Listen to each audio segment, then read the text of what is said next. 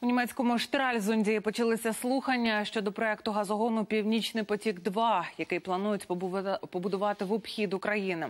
Він зможе транспортувати до країн Європи до 55 мільярдів кубометрів російського газу. Проти проекту активно виступають країна Балтії і Польща. Мовляв, це зробить ЄС заручником Кремля. У Німеччині з будівництвом не згодні місцеві захисники природи і фермери. Нагадаю, раніше Сенат США схвалив законопроект про запровадження нового пакету санкцій проти Росії, зокрема і щодо північного потока. 2 Втім, поки що законопроект загальмував у палаті представників.